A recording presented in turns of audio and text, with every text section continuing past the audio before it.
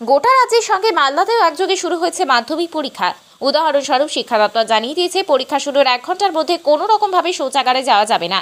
এরকমই একাধিক নিষেধাজ্ঞা রয়েছে এই মাধ্যমিক পরীক্ষা ঘিরে। পাশাপাশি করোনা সংক্রমণের জন্য সামাজিক দূরত্ব বিধি মানা, মুখে মাস্ক ব্যবহার করা এবং স্যানিটাইজার ব্যবহার নির্দেশ দেওয়া হয়েছে জেলা প্রশাসনের পক্ষ থেকে।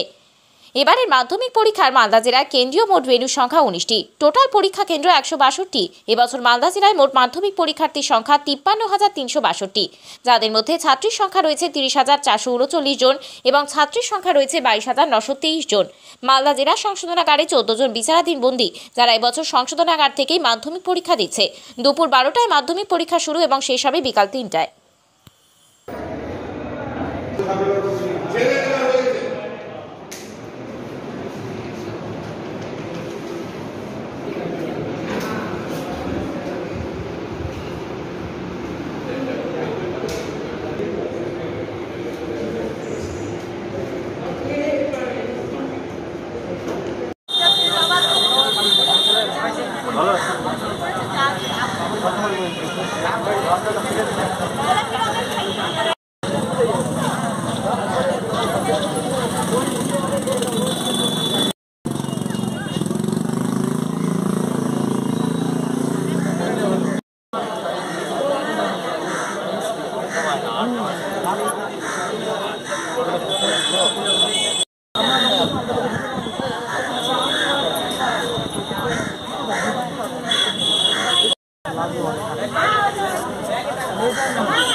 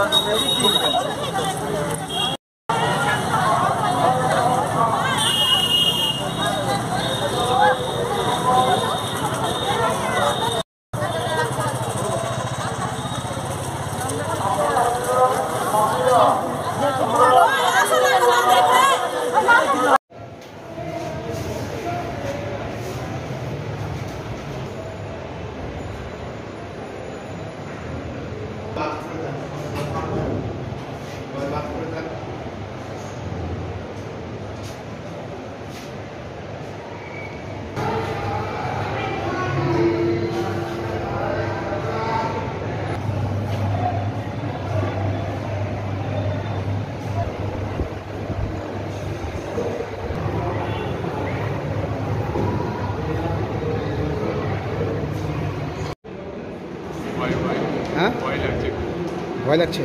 কেন? কোন স্কুলে ছাত্র তুমি? মানে এতদিন কি করছিলে বাড়িতে? কি আশা করছ? মোটামুটি হবে পরীক্ষা। তোমার নাম? রূপায়ণ